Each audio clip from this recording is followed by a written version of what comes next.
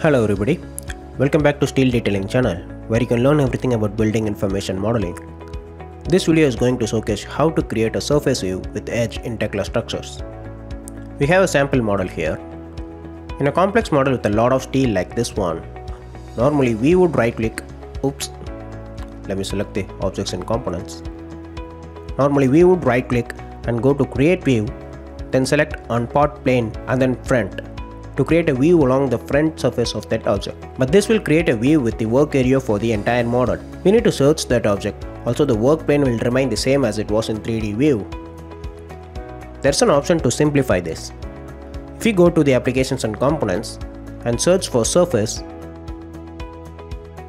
we can find a plugin called create surface view with edge. Just double click the plugin. Select the surface of the object where you want the view created then pick the direction you want. This will create a view along that surface with the work plane parallel to view plane automatically.